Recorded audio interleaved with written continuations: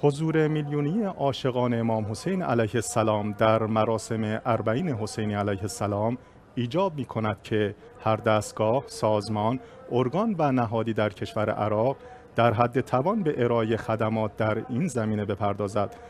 با توجه به نیاز شدید نیرو و تجهیزات برای برگزاری مراسم اربعین استانداری بغداد به عنوان پایتخت عراق امسال هم مانند سالهای قبل در این زمین اقدامهایی را ارائه کرده تا بخشی هر چند کم از نیازهای مورد نیاز در اربعین را برطرف کند.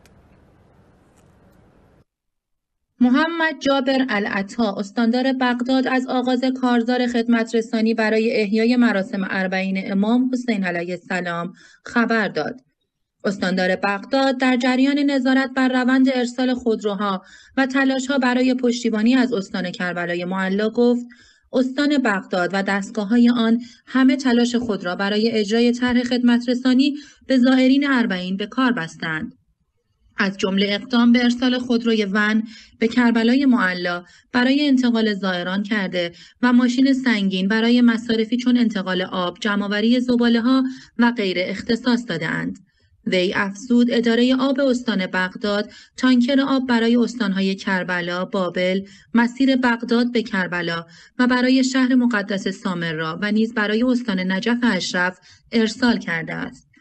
او همچنین گفت علاوه بر این ماشین برای نظافت مسیرها و شهر مقدس کربلا نیروی کار برای کمک به شهرداری این شهر و خودروی آمبولانس به همراه تجهیزات دیگر برای کمک به برگزاری مراسم اربعین اعزام شده است.